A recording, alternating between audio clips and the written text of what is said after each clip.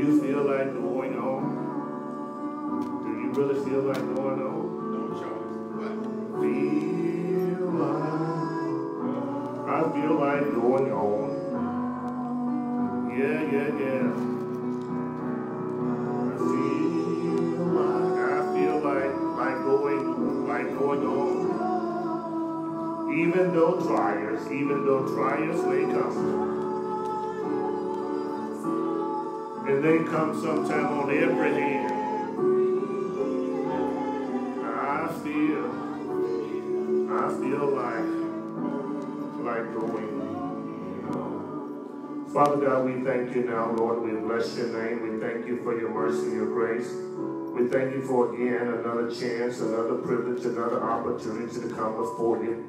We thank you, Father God, for your word, for we realize that your word is true. Your word is infallible. Your word is unchanging, Father God. We realize, Father God, that your word makes us strong. And we thank you, Father God, for blessing us tonight to come and study your word. We pray, Father God, that you speak to us through your word, that your word will become real to us, that we will run, tell men, women, boys, and girls about the goodness of your word. And Lord, we ask you, Father God, to keep the glory, all the honor, and all the praise. Allow us to be beneficiaries of your many blessings. It's in the strong, mighty, powerful, anointed name of Jesus Christ we pray, and we ask it all. Amen and thank God. Amen.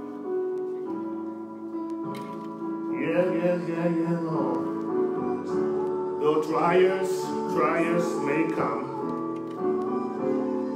every hand I feel, I feel like, like pressing, like pushing, like going on.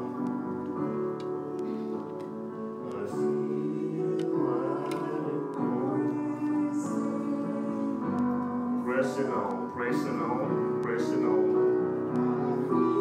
I feel like, like pressing on.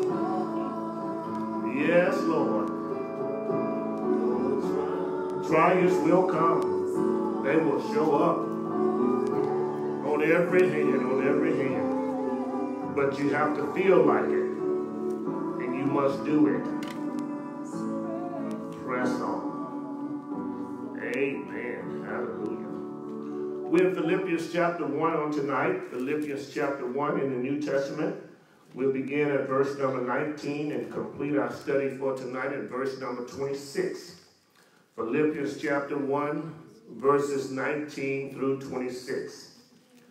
Philippians chapter 1, verses 19 through 26 is where we are tonight. On last week, we ended our, our time together with Paul saying that he gonna rejoice. Oh yeah, he gonna rejoice. Amen. Why was Paul rejoicing so on last week? Why was he saying in the earlier verses that I'm going to rejoice, and then he says I'm going to rejoice, and then he says, Yes, I am going to rejoice. Why was Paul rejoicing in such a manner? Because the gospel of Christ was being spread. Because the gospel of Jesus Christ was being spread, right? Do we get that excited when the gospel is being spread? Do we? No. Do we get excited or we get excited about when the church raises enough money? Is that why we get excited? Or do we get excited when the gospel is being spread? Luke chapter 15 says, when one soul comes to Christ, the angels in heaven throw a block party. They get excited. They celebrate. And Paul is saying, even though he, he's locked up in prison, he's excited about it because the gospel is going forth. Let me tell you, when you're going through your trials and your tribulation, you have to make sure that you see something worth living for, even in the midst of it. Amen. Even while you're going through, there ought to be something in your life that's worth rejoicing about. Yes, sir. Does anybody in this room have anything worth rejoicing about? I know you're not going through much stuff right now. I know you, your life for you is just real good right now. I know things are not bothering you right now. But when you were going through six years ago, when you were going through 10 years ago, were you able to rejoice through it? We're trying. Yes, I will. You were trying, we're trying to rejoice. you were being grateful even in your troubles and your trials. Paul says that even though I'm locked in a Roman prison, even though I know my death is near, I'm going to rejoice because the word of God is being spread. You have to have a motive on planet Earth to spread the gospel of good news of Christ. And when you see the gospel good news of Christ being spread, you need to rejoice about it. I'm not talking about a new car, new house. That's stuff. That's that that really that's temporal things, temporal stuff. Those things gonna pass away probably before you do. How many of y'all had five cars already, two cars, three cars already? They just quit on you, your cars. I mean, cars just quit. It doesn't matter what label they have on it. Doesn't matter what emblem they have on it, whether the emblem is long, drawn out, and curved around, or whether the emblem is round with the soul peace sign in the middle of it. If you're over 40 years old, you know what the peace sign looks like, right? Because when I grew up, they had a sign that, that said love, soul, happiness, and joy. I don't know what children got signs of now. Music was written for, for men to, to to uh, really, really show women how much they love them, but I don't know what music is written for, what purpose is written for now.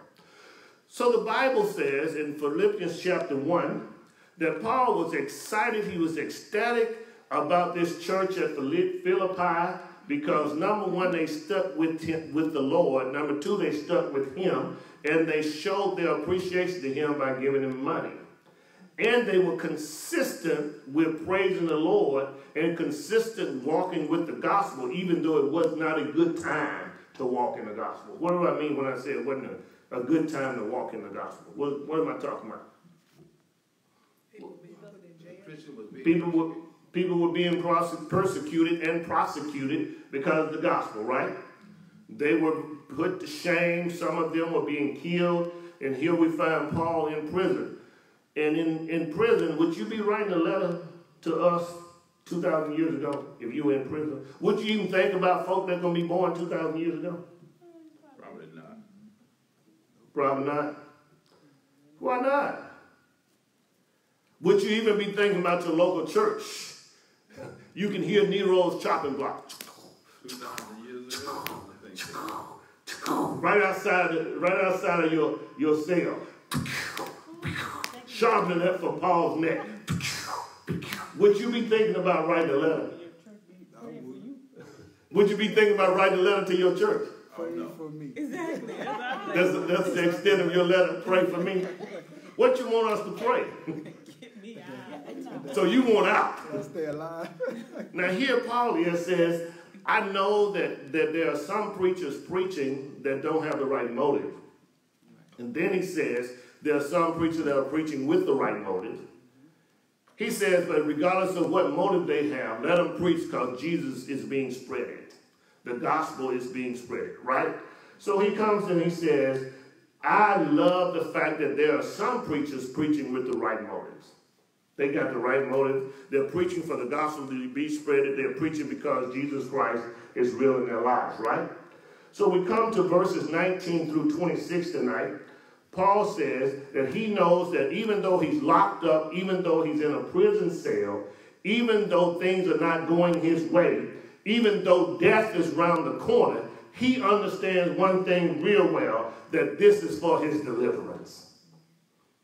He says, Your prayers and the supply of the Holy Spirit of Jesus Christ, he says, I'm going I'm to be delivered.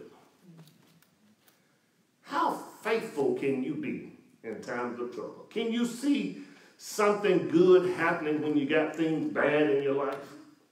I mean, some people can testify.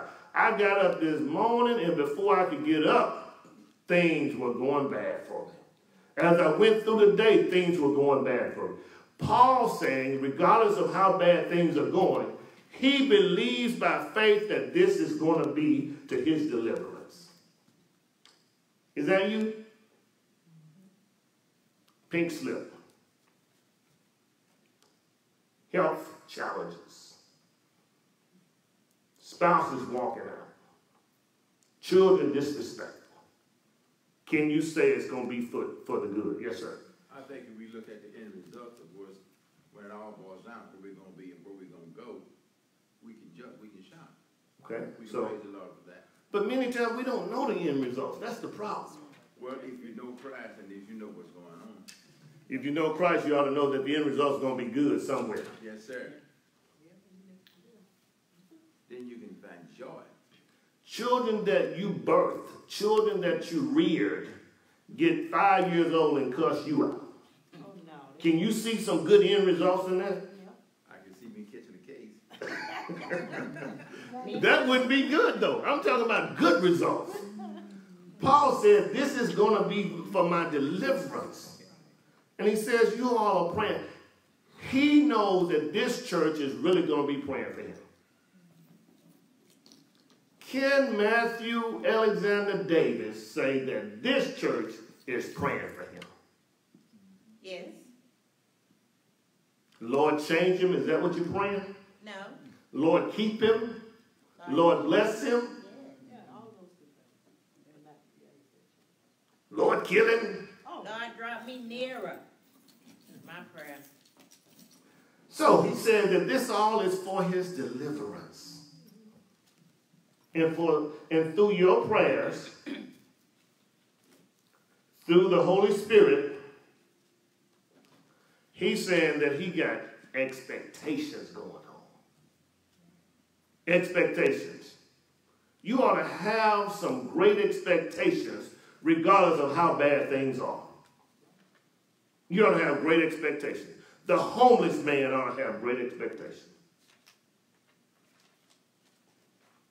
I think it was May 18th, 2018. Uh, they were calling people that they had called people all ever since March. The first thing they did, they got rid of the president of the country. Now, when they start from the top, Yeah. there's something wrong. They started at the top. The head honcho, they got rid of the president first. And you would normally think that the president, they would at least let the president come down and fire all the people under him. But they got rid of the president first. Then they got rid of the directors next. Then they got rid of the managers next. Then they got rid of the engineers and the, and the architects next. Not that I could see the handwriting on the wall, but when they got rid of the president, I started taking my stuff home. I know that's right. The moment, the day they got rid of the president, all the books that I brought there that belonged to me, they went to my house. All the gadgets that I had put together that belonged to me, they went to my house. My little ivy plant, I had my ivy plant, I walked out the door with my ivy plant. I didn't wait till they called me. I took my plant with me. So was you rejoicing then? Two months ahead of time. They hadn't gotten me yet.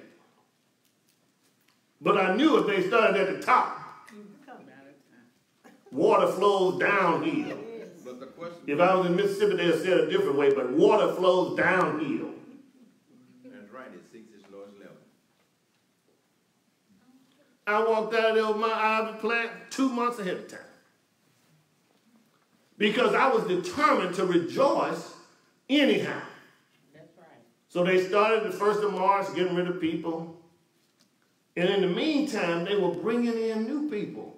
How can you justify getting rid of the aged and the experienced people and bringing in 21, 22, 35 year olds? I can see the handwriting on the wall. For six months, I trained him. Mm. For four months, I trained him. And now they have my jobs. They brought guys in from Mexico, brought guys in from Colombia. They brought guys in from all over the world other than the United States, put them with us, and they really, really picked our brains. Some people say, I wouldn't have told them everything. Let me tell you, when the handwriting is on the wall, when they've determined to get rid of you, they're going to get rid of you whether you train the person right or not. Might, might as well train them right because that'll keep you there a little longer. You got to learn how to rejoice in the midst of it. What would it look like if you say, Well, I'm not training him, I'm not training her to take my job? Well, you can just take your stuff right now. At least you can buy it two more months. I said that. But you ought to rejoice. You ought to be You ought to know with that, with beyond a shadow of a doubt that God has something greater for you.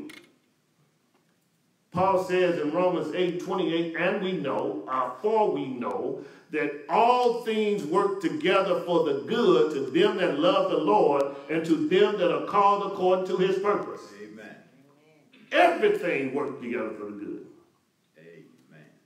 I don't mind telling the story now, but I hated it then. 15 years ago when I first came to this church, I had I had participated in, I had been a part of two fires in the chemical plant and one explosion. In my first six months as the pastor was worked in both fires and the explosion. Brother Whitlock, you would have shut down. You would have just walked away, sir. I ain't got to deal with this. But you have to learn to rejoice in the midst of trouble. And you have to learn to rejoice in the midst of persecution. And even in the midst of prosecution, you have to learn to rejoice. Paul says, I rejoice, and then he comes back and says, Yes, I rejoice. He says, Because even the prison guards are being saved, and even the prisoners that hang out with me are being delivered because they see how I'm carrying myself, even though I'm locked up.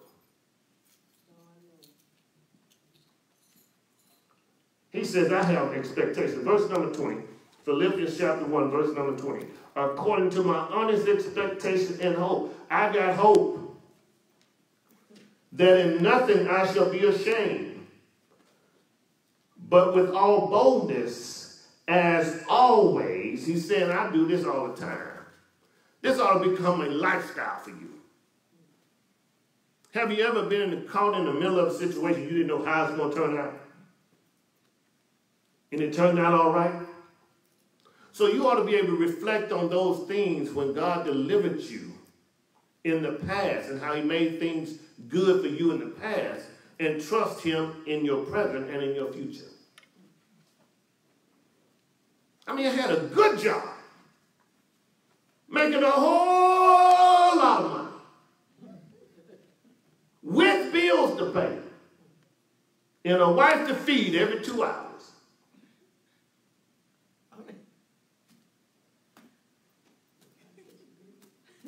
But they released me. So by the time they get to me two months later, guess what happened? I walked out with my, my banana, my notebook, and my pen. They called me to the office and said, Matt, he wants to see you. I got I got my stuff. I said, see ya. it wasn't my first rodeo, you know. I said, see you. They, they thought I was going to start packing up stuff. Man, I packed up stuff two months ago. I got all of my personal stuff, and I'm gone. Walked down there, he, he started in his little dialogue, wasn't very sympathetic at all. I said, okay, thank you. I appreciate the time I was here. In the back of my mind, I'm always saying, God has something greater and something better. Yes. In other words, I, like Paul, have great expectations. Mm-hmm. I, like Paul, have hope. I, like Paul, have so much hope. You see, the reason why people die early is because they lose hope. You can live without food for 40 days. Have you ever tried it? Mm-hmm. You can live without food for 40 days. You can live without water for 40 hours. You can live without air for seven minutes. But you cannot live two seconds without hope. You can live without food, you can live without water, you can live without air, but you cannot live without hope for two seconds. Only reason you're on planet Earth now, you still got some hope. Make sure while you're here, you're leaving a legacy in Jesus' name.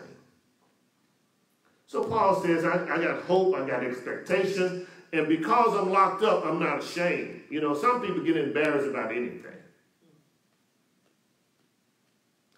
In, in elementary school, we would sit at the table and we were eating food. Children would embarrass other children because they ate free food. Now, we didn't have the choices y'all have today. Children would sit at the table and they would bully and laugh at those of us in Head Start. Y'all know what Head Start is? Yes, program. In Head Start, we had free food.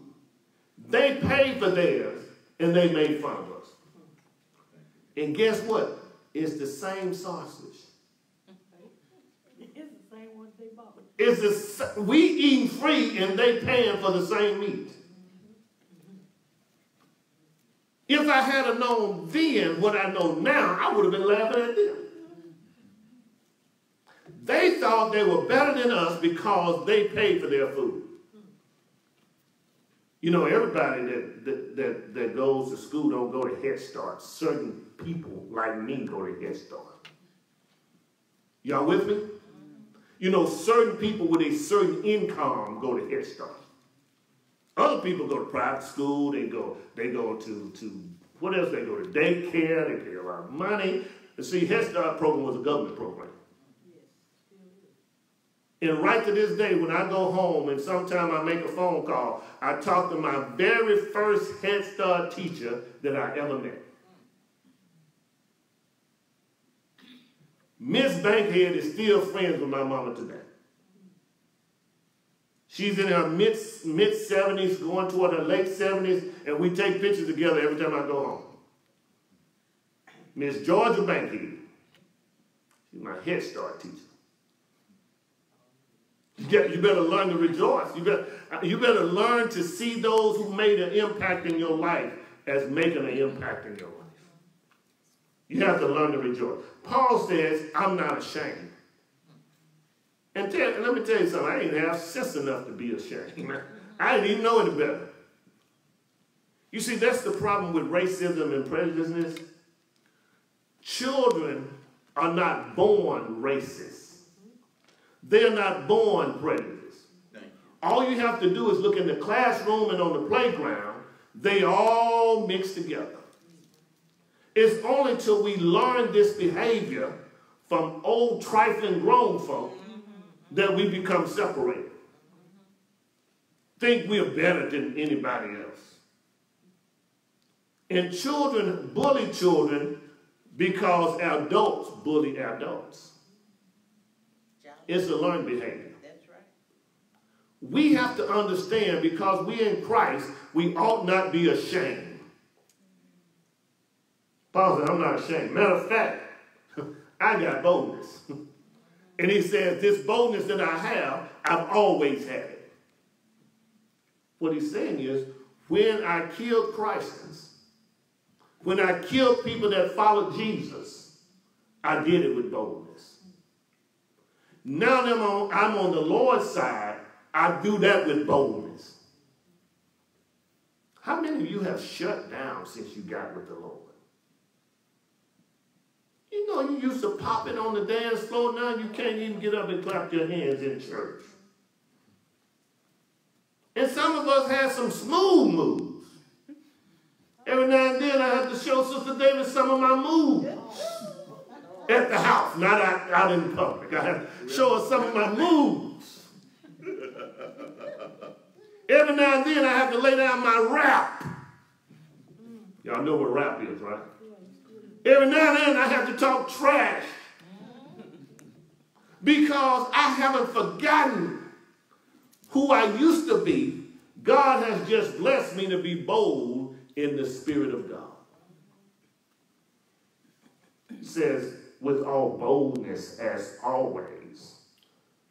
So now also Christ will be magnified in my body.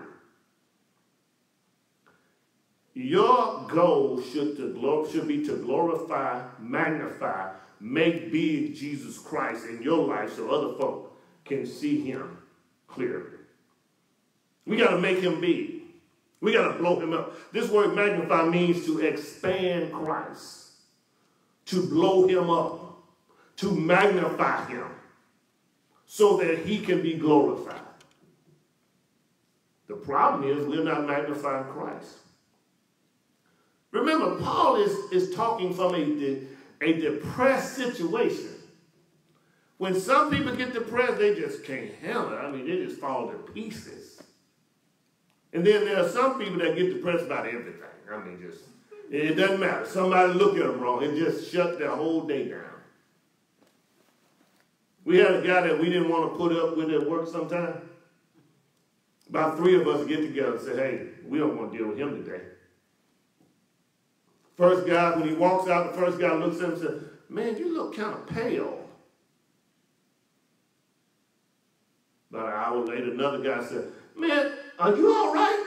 And just walk off. Next guy said, man, you look, are you sick? By noon, we, we don't have to put up with him anymore. He gone home. He, he just, he shut completely down. He gone home. He, he's gone to the doctor. He, we just made him feel like he was sick. Some people get depressed over nothing. Some people get depressed over any little thing. People stop going to church because somebody looked at them wrong. We have a sign outside on the, on the, on the sign that says, the church hurt Jesus, but he still comes.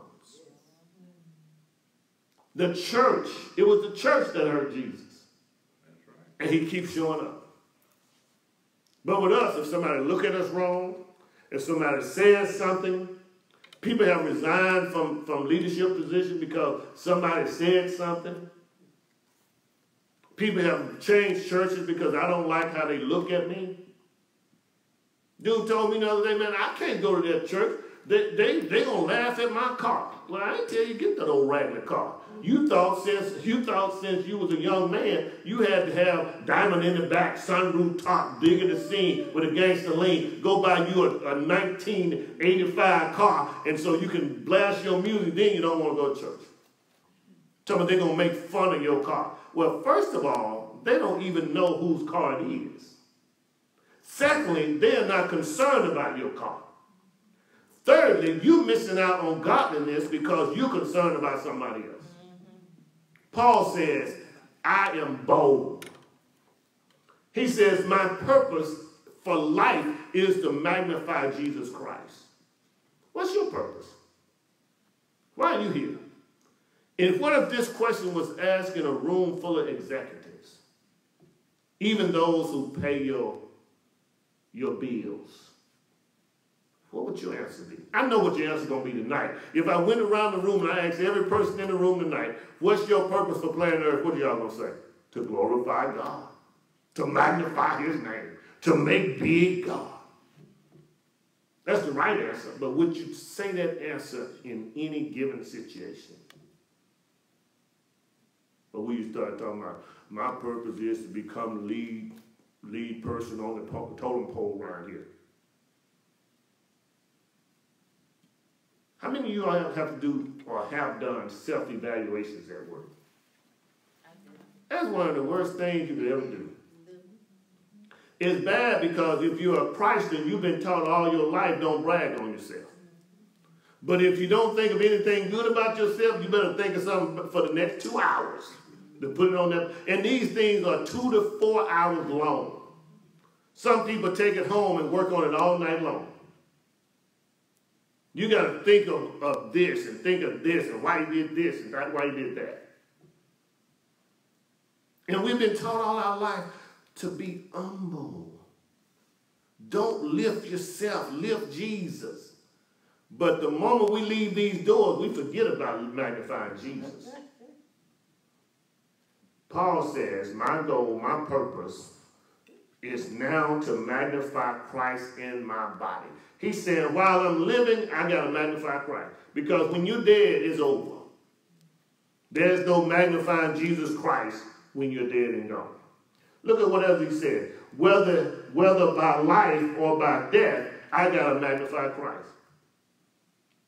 How many of you have gone to funerals and the preacher just standing there flat foot about how good a person the deceased was? And then when you pay a preacher to come in and preach, he, he doesn't even know. But they can paint a lovely picture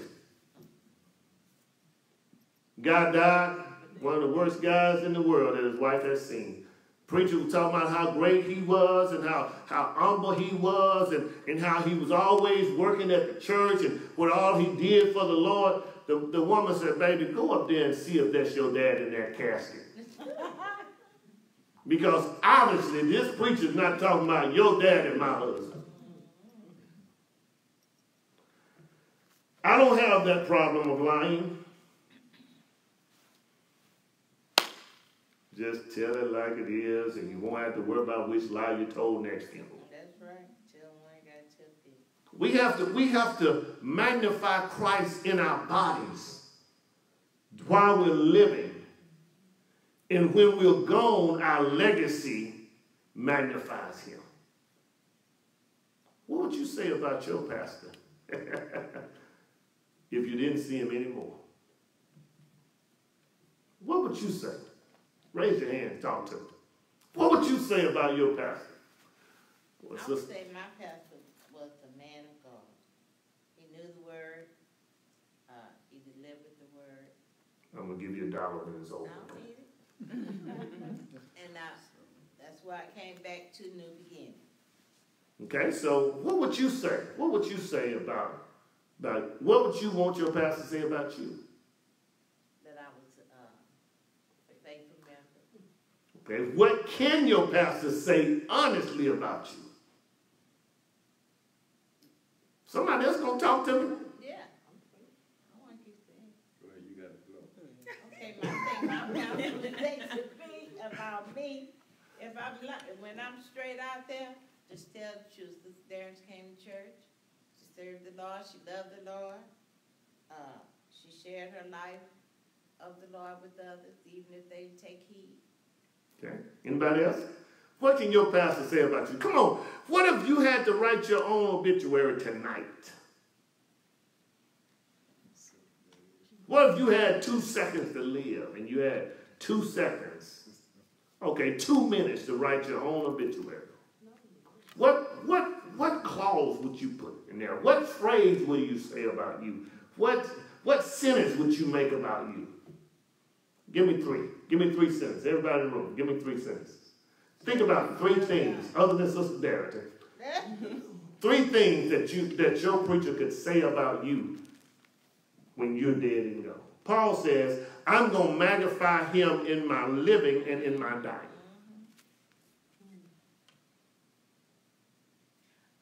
Yes, ma'am. You can say that I'm an honest person. Can you slide over a little bit so I can see your eyes? I am an Sit in the second chair if you would. I can say, what about you? I'm an honest person. If you ask me something, I'm gonna tell you the truth. Okay, she says she's an honest person. You ask her something, she's gonna tell you the truth. But what can we say if we don't ask you something? I don't spread other people's information around. She doesn't spread other people information. And I worship the Lord in spirit and in truth. Worship the Lord in spirit and truth. Who's that, who else talking? Who else gonna tell me? What can your preacher say about you? What would your life say about you? I love the Lord. I love the Lord. He was a good tither. He was a good tither. Faithful. Hmm. Now you know you just opened the door, right? That's fine. He was a good tither. What was the last one? He is faithful. He was faithful. Okay, we gotta check the computer to see if any of those are true. He loved the Lord, he was a good tither, and he was faithful. Anybody else? Come on, share with me, even if you wouldn't intend to. Share with me. And then he gonna share with you later on. Wait a minute, bro. Anybody else? All right, we got three. We got three people that's gonna glorify the Lord in, in their lives and in their death. Verse number 21. For to me to live is Christ, and to die is gain. What is Paul saying? He says, For to me to live, if I live, I'm gonna live for the Lord. If I stay on planet Earth, my reputation, my character will be of such that people can point out the fact that I'm living for the Lord. Can they say that you're living for the Lord? Can you say that you're living for the Lord? See, because people say things about themselves, and while they're saying about themselves, at the moment that they're saying it, they're like, oops, that's not really true. Says, he says, if I'm living or if I'm dead, if I'm living, I'm living in Christ. For, for me to live, in other words, I just exist if I don't live for Christ. I'm living in Christ and I'm living for Christ, and, it, and I don't really have a, a life unless I live for Christ. Before Christ, we were just existing. We were just there. We just hanging out. We're just marking time. When military men march in place, when they march in place, they're marking time. We're just marking time. We're just marching in place when we're not saved. We're not born again. Everybody needs to be born again. To live. For me, for to me to live, King James would say it like this: For to me to live is Christ. For to me to live is Christ. New King James said, For to me to live is Christ. Then he says, and to die is gain. What he's talking about? To die is gain. When he die, you're gonna know you're gonna be with the Lord. When he dies, he's going to be with the Lord. Paul says, I really got it going on. He says, he said, if, if I live, I'm going to live unto the Lord. I'm going to live in Christ. If I die, I'm going to gain more than I could ever gain on planet Earth because I'm going to be in the presence of the Lord. For to me to live is Christ. So and for me, to, in order for me to live, I got to be in Christ. And since I'm living, and since I'm in Christ, I'm, I'm going to be a great testimony for others to see. Then he says, and to die is gain. I'm going to get all these things that God has been storing up for me. The modern day prophet Steve Harvey tells a story about a man going to heaven. You know, he can get so holy sometimes. He can he can get so holy. One, one night, one night, one night he was going all alone, and Sister David was like, who, who is that? Tyler Perry? No, that's Steve Harvey at it again. He can get he can get sanctimonious sometimes. So in the in the modern day prophet term, Steve Harvey, he says a man died and went to heaven. And when he was walking through with St. Peter, there were some rooms that St. Peter didn't show him. And he said, hey, look, what's in that room? He said, don't, never mind, that, that's not for you. He goes to another room, he said, well, that's not for you. Said, well, I want to see what's in this room. That room got my name on it. Let me see what's in this room. And there are presents and boxes and blessings stacked up to the ceiling, wall to wall. And so the angel says to him, These are all the blessings that God had in store for you. But you didn't pray for them and you didn't live for them. So now they're still here and you will never get them. Is that you? Is that is that is that what God is, is that what God has in store for you to show you what you missed out on? Or are you going to live for Christ? And when you die, you're going to get everything that God has for you. Verse 22. But if but if I live on in the flesh, now this word flesh is not talking about in your sinful flesh. He's talking about if I live on in this body. If I continue to live in this body, if I continue to labor in this body, if I continue to live in this flesh, it will, it will mean that I have the fruit of my labor. In other words, this will mean the fruit from my labor will be presented to me. In other words, I'm going to be blessed if I live. If I live in this body. Now, this is a man talking from prison. This is a man that's on death row. This is a man that doesn't have long to live. He know he's going to be killed. And he talking like this. He says, if I, if I live in this body, in this flesh, this will mean fruit from my labor. Then he says, yet what I should choose, I cannot tell. Listen to Paul talking like he's going to be able to choose life or death. He says, if I choose, what I choose, I cannot tell. He says, verse number 23, he says, For I am hard pressed between the two. He said, I'm, I'm confused now. I'm really, I'm really so hard pressed between the two is that I don't know what choice to make. What he's really saying is, I don't know which is better for me. I don't know which, be- which is better for me because if I live, I'm going to live unto the Lord. If I die, I'm going to have gain. I'm going to gain whatever God has in store for me. I am hard pressed between the two, having the desire to depart and be with Christ. How many of you got a desire to be with the Lord? Do you know that some people will not? You have a desire to be with the Lord? Your, your desire, your desire. What's your desire? I'm not talking about when. I didn't ask you your timetable. Because for most people, their timetable will never be one that they're ready to leave here. I'm just asking you what your desire is. What's your desire? To be with the Lord? You know the story. School teacher asked some elementary school boys, how many y'all gonna want to go to heaven? Out of 23 students, 22 raised their hand. We always give him the name Little Johnny. So Little Johnny, Little Johnny, why didn't you raise your hand? He said, I thought you had a busload taken off right now. I ain't ready to go get it. Okay.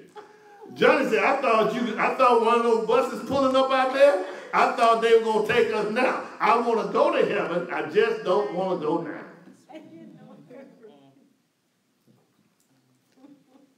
Paul says, For I am hard pressed between the two, having a desire to depart and be with Christ, which is the better for me. He says, I know it would be better for me if I just leave this old world. When we look at the, the situations that's going on around us now, somebody has said, Lord, come quickly. I'm ready to get out of here. Lord, come on now. I'm ready to get out of here. Because of the troubles of this world. People are saying, I don't even want to bring any children into this world if they got to face this. People are saying, Lord, come on, come on now. So my desire is to part, depart to be with Christ because I know that's what's better for me. Verse 24. Nevertheless, to remain in the flesh is more needed, needful to you, for you. Nevertheless, if I remain in the flesh, is what I really need to do for your sake. You know, people people pass away on a regular basis, right? And members of churches pass away on a regular basis, right? It's a different situation when the pastor passes away. Yes? A little bit. As long as, as long as he ain't my kinfolk, it's all right for him to get out of here.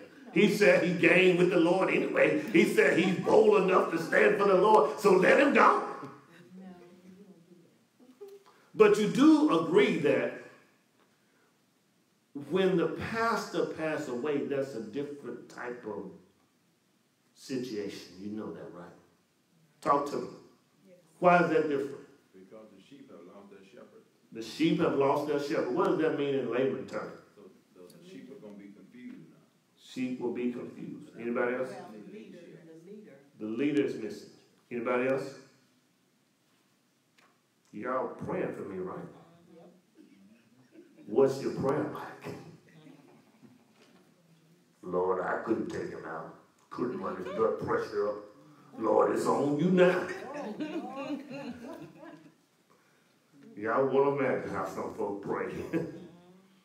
so, so he says it'll be better for you. It's more helpful and needful for you if I remain here. Verse 25. In being confident of this, I know that I shall remain and continue with you, all for your progress in joy and faith, joy of faith. So he's saying that he's a benefit to the body of Christ. The pastor ought to be a benefit to the body of Christ. People ought to get joy out of knowing their pastor. People ought to get joy out of knowing that the preacher is progressing. Because as the preacher progresses, the people ought to progress.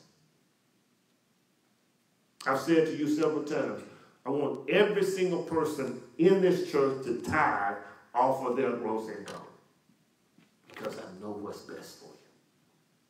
Somebody said, how do you know what's best for me? I know what's best for myself. Because I know what's best. Because the word confirms what I have to say. The next thing I said is that I want everybody in this church to be debt free. That means you can't buy everything that everybody else buys. We like to walk in the door, cash or credit, charge it. We like for the people behind us to say, charge it.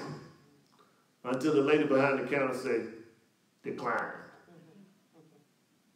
Now you want to argue with the lady. Run it again. No, run it again. You, you must ain't doing something right. You ain't doing something right. If I was the cashier, I said, sir, I did the same thing to this card that I did to the card that just left here. Charge it. So I want everybody to tithe off their gross income. I want everybody to be debt free. I want everybody to be healthy, physically, mentally, emotionally, spiritually. I want everybody to be safe. That's why we want safety here. That's why, that's why we don't want men to leave women and children at the church. We want safety. And if a joker can run over a man, the women sure can't stop him anyway.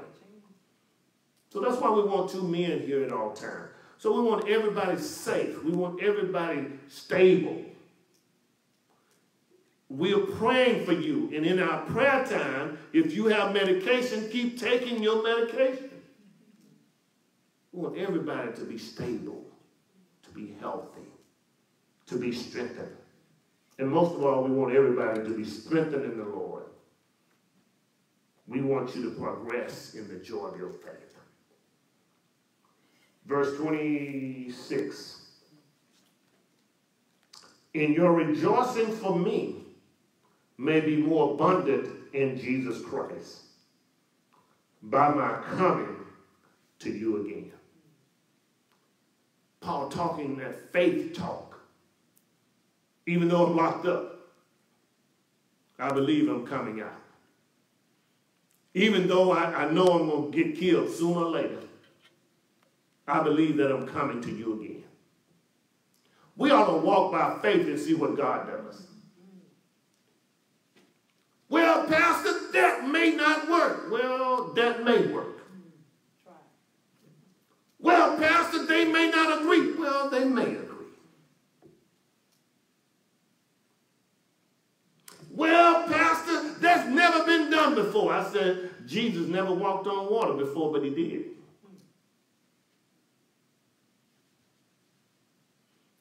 Well, Pastor, we can't grow the church. No, we can't with you sitting down. You have to walk by faith, talk faith, and live by faith and demonstrate faith. The Bible teaches that he that that which is done without faith is sin. That which is done where there is no faith involved is sin. I'm teaching tonight by faith. I believe that, that what I'm saying through the Holy Spirit is impacting somebody's life.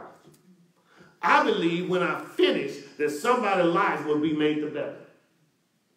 I believe the word of God will pierce the heart of a soul so much so that we will turn from our evil ways.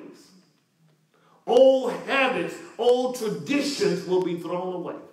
I believe it. I wouldn't come over here tonight was I got here later tonight than I ever have gotten here. I was running because I had to get an assignment in, and I, I pushed the button at 612. And guess what? I'm usually here between 4.30 and 5. But by faith, I believe that I needed to be here so the word of God would be dispensed. That doesn't mean that I'm a great teacher. That just means the word of God is so powerful.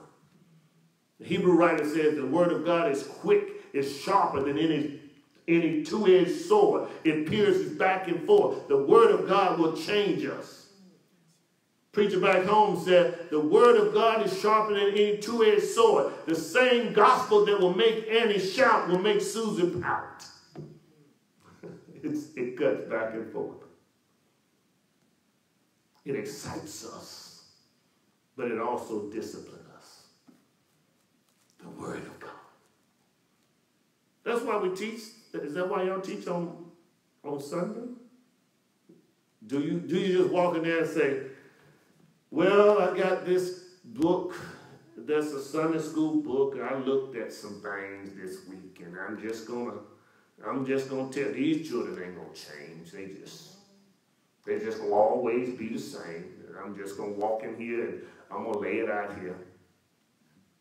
Yeah, it's just I'm gonna just lay it out here, and when I lay it out here, whether they accept it or not, that's that's up to them. We ought to teach. On Tuesday night, Sister Henry, we we we're not just meeting to, to have a girls' night out. We're meeting to hear the word of God so it can impact lives, change people, and we do it by faith. And when we operate by faith, we are looking for a miracle. We're looking for difference. We're looking for things to be different in our lives. Matter of fact, as we teach and we preach, our lives ought to be made to better. The problem is we got too many people who are teaching that think they're teaching for other people to grow when they ought to be growing also. The other problem is we got too many people who are designating the message for other people when it's really meant for you.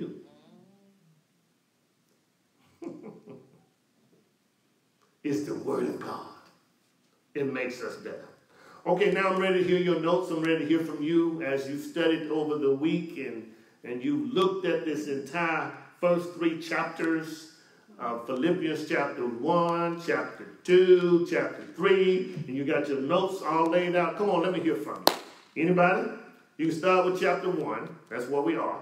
Any, any, any takers on tonight?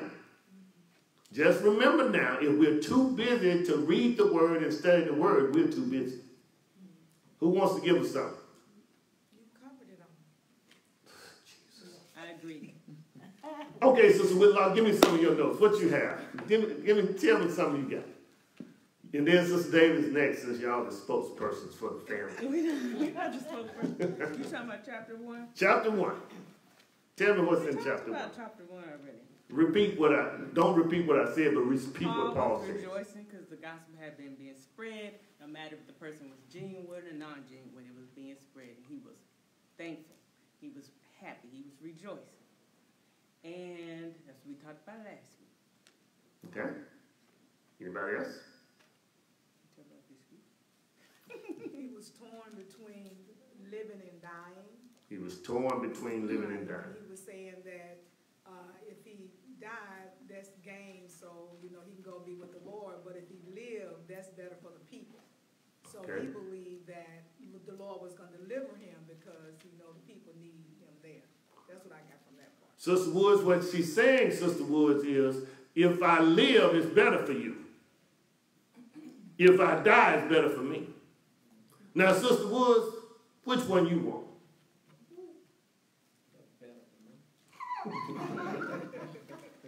She wants what's better for her. Amen.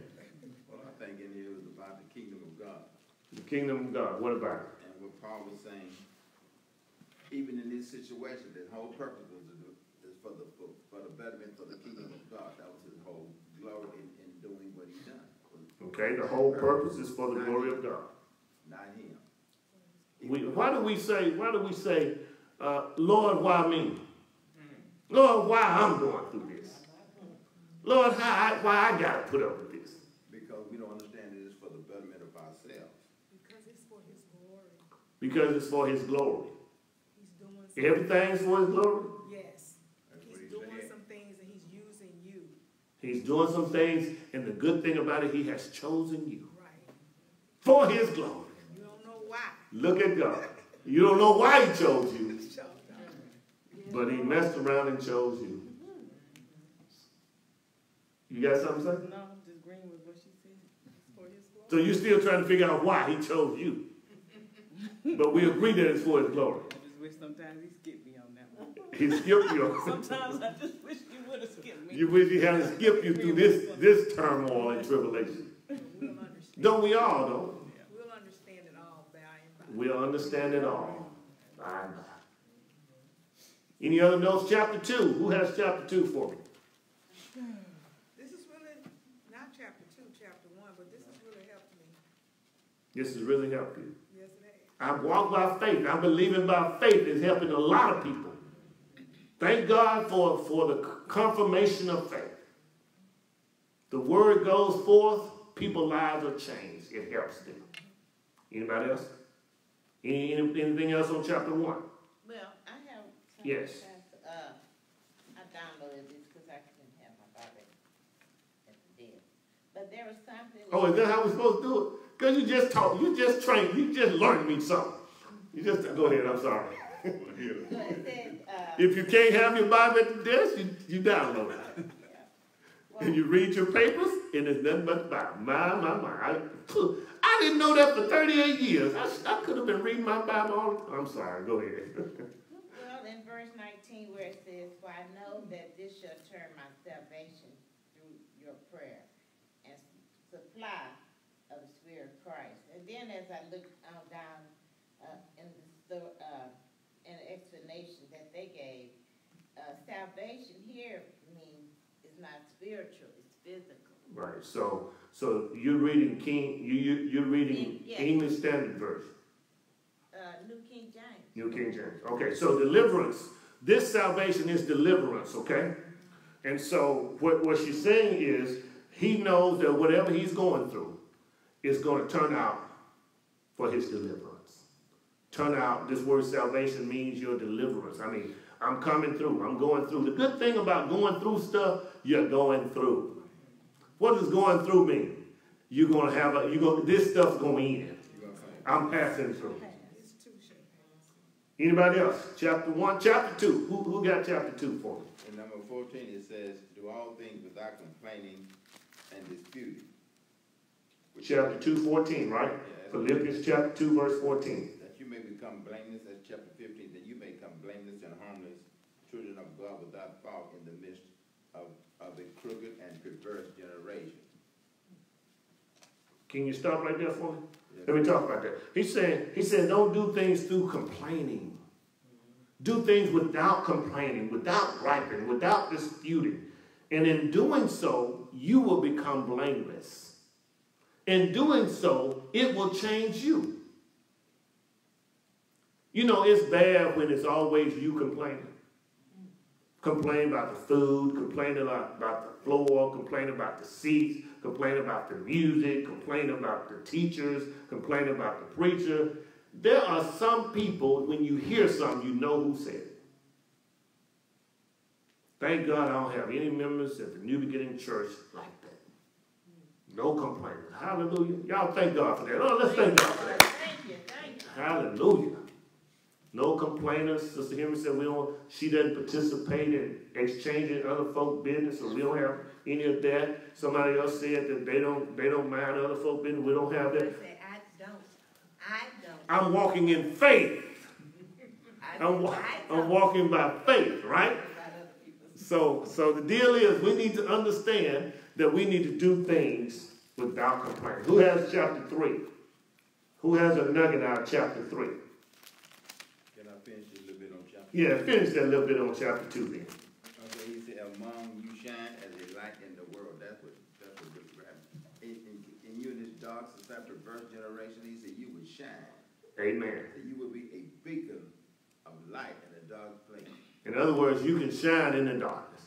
You know what? You know something? The light is, is at its brightest when it's at its darkest. You believe that? Yes. There are lights that are shining in this room that you won't pay any attention to until the lights go out. There are two lights in this room that never go out. You can turn every switch in this room off, but there are two lights that will never go out. And you will never notice those lights until you turn the switch off. When it gets dark, you as a Christian ought to shine the brightest. Hurricane hit, flood water was coming up, and uh, the man was trying to tell his wife, we don't need to go anywhere. First thing she said, well, Pastor, what you gonna do? I'm gonna wait on the Lord. She said, well, we wait on the Lord. When, when you're at your darkest, when you're at the worst state of your life, that's when you ought to shine the brightest. For watching you. Chapter 3. Give me a nugget out chapter 3. Somebody that hadn't talked all night. Somebody that grunted, but they didn't really talk. Chapter 3. Somebody that thought about talking, but they didn't really say much. Chapter 3. I got writing all in my Bible, chapter 3 and 4. Ooh, I know you found something there. Anybody? Everybody waiting to get to chapter 4, verse 13, huh? Is that what y'all waiting on? Chapter 4, verse 13? What does chapter 4, verse 13 say? I can do all things through Christ who strengthens me. Y'all do realize what that's talking about, right? Remember, he started in chapter 1 talking about how nice and how kind they were to the preacher.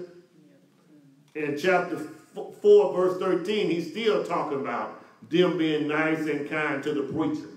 And he says, and if you choose not to be nice and kind to the preacher, that's all right. I can do all things through Christ who strengthens me.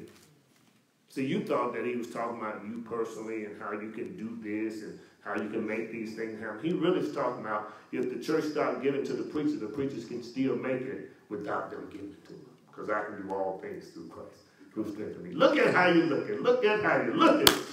Amen? Because he was still depending on Christ, not people. He's still depending on Christ and not preachers. God deliver me from preachers that depend on people and not depend on Christ. God deliver me from preachers who depend on money and not depend on Christ.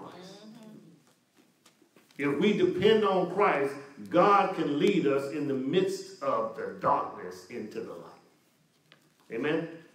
Let's go to God in prayer. Father God, we thank you now, Lord. We bless your name. We thank you for your mercy and your grace. We thank you, Father, for this book, this text. We thank you for these words. We ask you to bless us, Father, that we will carry your word forth and that men, women, boys, and girls' life will be changed. In Jesus' name, we pray that you keep the glory, all honor and all the praise. In Jesus' name, amen.